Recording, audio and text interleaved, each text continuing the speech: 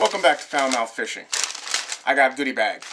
Um, if you're on my uh, if you're on my Twitter feed, you probably got a tweet and uh, figured out where I was today.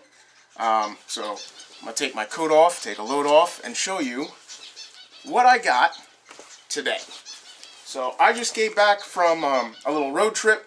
I went to my old middle school. Uh, I was lucky enough to spend sixth, seventh, and eighth grade there, and uh, I guess it's elementary school, middle school, middle school. Eh. But uh, back in uh, Manahawkin, New Jersey, where I grew up. Um, so I was on the island, and the mainland school was uh, Southern Regional District, and I went to school there. So I spent uh, eighth, seventh, eighth, ninth, tenth, eleventh, and of course senior year high school down that neck of the woods. but they have every year a little expo. They have a series of tables set up in the, in the small school, and there's about 100, 115 tables with uh, different anglers, uh, people who produce their own baits and things like that. So I took a long drive back to my alma mater and uh, paid a small entrance fee, which all gets donated to help support the Southern Regional fishing team for the kids out there that are going to be future anglers. But uh, I figured I'd show you what I came back with. Uh, so while I was down there, I got some goodies. Um, we'll start off with pretty much the, the mainstay kind of normal stuff. So I picked up for my saltwater angling, uh, this is a little Hopkins jigging eel. Alright. It's got a nice little soft eel tail, a little bucktail uh, jig with a head. This is a 8 inch 7 aught hook uh, jigging eel. Um, casting and jigging and trolling. So this is good. Uh, I'm thinking maybe I could throw this in fresh water. It's gonna, it's a heavy, uh, heavy enough weight. I'm gonna say it's about maybe three quarters of an ounce. Yeah, about three quarters of an ounce. It's a pretty, pretty substantial head on it. But uh, I figure I can get that down there to depth. Maybe I can catch something off, off the beaten trail. Um, I picked me up a couple of these uh, soft plastic swim baits. These bigger varieties, the stout hooks for when I go to catch monster fish, because I don't just fish for panfish, but uh, I enjoyed that. Speaking of panfish, while I was there, a gentleman at the table for a dollar a piece had these great little itsy bitsy, almost like a uh, trout magnet. Let's see if I can open this tube. Get you a better look at this guy. So it's this teeny little jig head. Great little action, little twitching action on the tail. It's sort of a, a it's not a boot tail, but it's sort of like a, uh, a conical tail on the end. Um, I figured this is going to go great with my trout magnet setup that I have. These are a little different than the trout magnets, but I got them in pretty much the staple trout colors that I swim, which is, uh, of course, black for the muddier water. I got a, a red, near trans translucent, almost transparent red. Of course, white. This one came with a little pink jig head. And my go-to crystal with a silver gold flake inside. I'll take this one out because I'm pretty sure it's not very visible on the camera. So we'll get a little closer look at the flake without the glare from the tube that it comes in. But there's that little boot tail. Focus. So that one I think is definitely going to catch me some trout. Um, so I figured I picked those up. They were only a dollar each. So that was a pretty good buy. And actually he gave me a deal for, for buying so many. Um, aside from that, I got me some 10 aught size 10 treble hooks for a future project which you shall see in an upcoming video. These are my big monster mustads and these are razor sharp razor sharp sticky sticky so set those aside so I don't end up impaling myself today. uh, other than that, um, there was a guy by the name of Crankey Creek, and he has uh, www.crankeycreek.com, and he does hand-tied uh, rigs. There's his little information.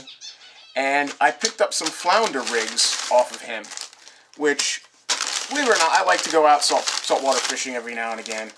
So these are little squids, little squid jigs. He does these preset, comes with your little spinner, your little Colorado blade, some beads, the hook's already attached. I got one in pink, uh, and then I got the rest in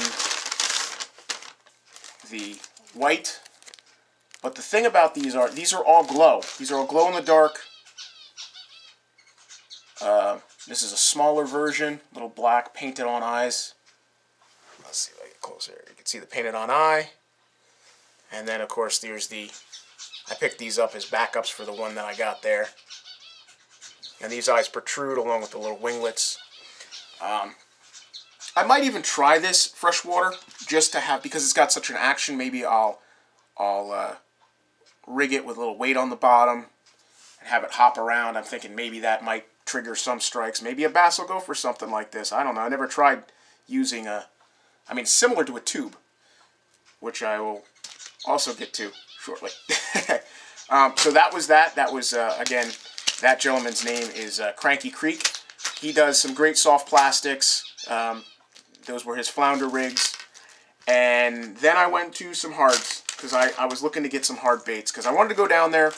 Um, to be honest, I think I'm going to go muskie hunting again uh, come a couple of months from now, and uh, certainly during the fall when they start muskie uh, fishing again. So I picked up some handmade solid. This one's a little popper head. I just that that color got me, and I like the fact that he's got a little Malibu uh, Marabou flash and some hair on the end as a trailer.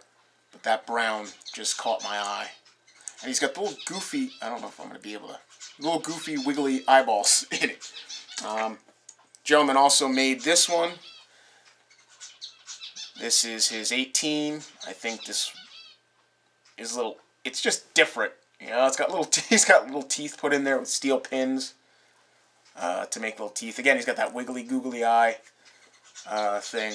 So this gentleman just handcrafts them solid blocks of wood. He'll carve them down, mill them, sand them, paint them up, and coat them. And then this gentleman, um, another table, different table, caught my eye. This is uh, Pappy's Pride. www.pappyspridefishing.com, all one word. Uh, give you his little logo right there. This guy, this guy knows his baits. Um, this is a 2.3 ounce two to four foot diving. Beautiful, beautiful, beautiful handcrafted wooden bait.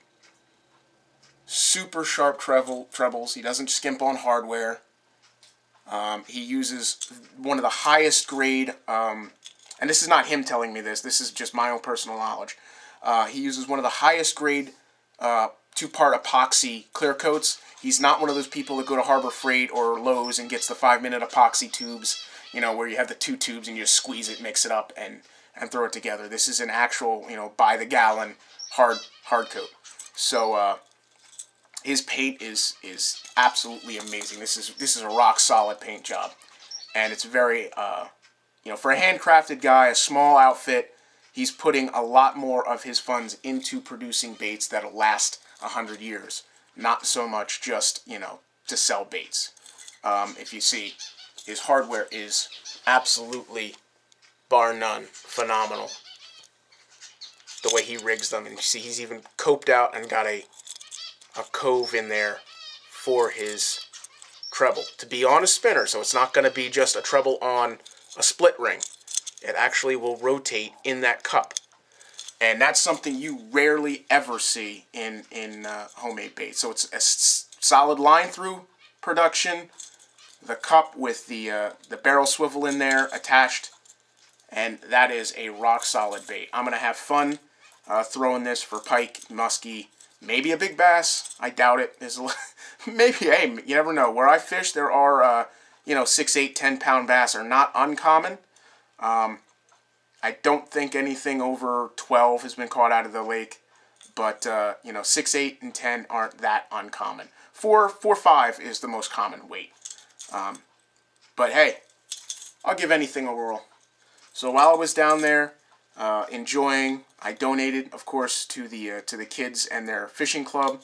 It started roughly in the 2000s uh, for my alma mater, and I just I was blown away by some of the craftsmanship of some of these guys, specifically this gentleman um, at Pappy's Pride. Um, this gentleman unfortunately didn't have any cards, uh, but this was I just like this guy's paint scheme. I, the googly eyes is kind of more catch the fisherman than catch the fish, um, but uh, but that caught my eye, so I figured what the hell. And of course, even if I never catch a fish on it, those goofy teeth that that looks just nice as a as a showpiece. Um, but yeah, uh, I just wanted to make this quick video when I got home. Um, took off my coat and took a load off and, and just wanted to share with you what I did and hope that if you know that your alma mater, where you grew up, started a fishing club, if you know that uh, the rec center, um, the CYO, has a fishing club, um, or even if you can get with your local municipality, uh, specifically the police departments. I mean, there's a lot of kids out there, kids from adoptions, kids from high crime areas. Go and be proactive. See about your local municipality. Now, I mean, I'm driving back to my home. Uh, we have them also here where I live now. But I drove back specifically because, again, this is where I went to school. But support youth fishing. Donate a couple bucks. Get in contact with the police departments and your mayor's office. See if in your region you can start a fishing club. Work together with the locals, uh, you know, to try to create a small fishing community for youth. Get them out of trouble. Get them doing something with nature. Get them out of the Xbox and the PS4. And I'm guilty. I got a PS4 Pro right on the other side of this camera. Um, but get yourself out there to do things for nature and help the community. So I just wanted to touch base with you, show what I bought today. Um, and I hope this uh, video was insightful and a little bit enjoyable. So uh, have a good one. If you like this video, like, subscribe, definitely hit that bell notification and share the video. Comment down below if you liked any of these lures. Um, I'm certainly you're going to see hopefully a, a, couple of videos with me out there throwing things like this. Uh, and I, I hope uh, I entertained you a little bit. So have a good day and a good weekend. God bless.